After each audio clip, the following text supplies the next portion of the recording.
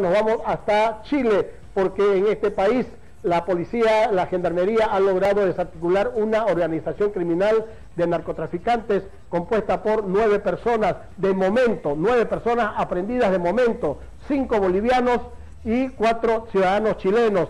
Se ha encontrado en su poder 614 kilos de droga. Esta droga tenía como destino Europa y según el valor estimado de toda la droga que iba a ser transportada hasta Europa, supera los 15 millones de dólares. Un duro golpe a al narcotráfico que ha dado la policía chilena eh, en las últimas horas. Veamos por favor esta y escuchemos esta información.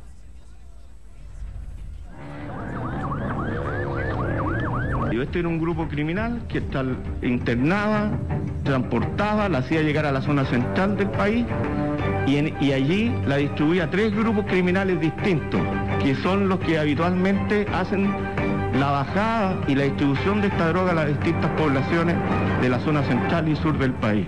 Le deja de hacer daño a muchos niños, muchos jóvenes, muchas familias.